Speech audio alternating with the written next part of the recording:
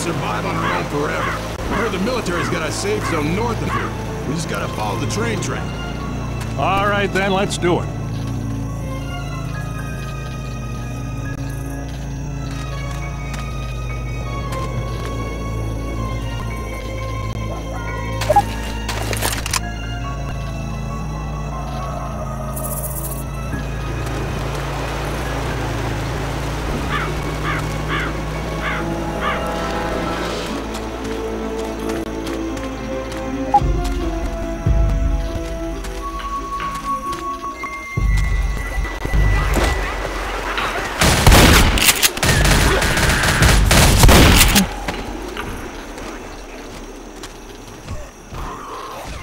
Reloading! Reloading!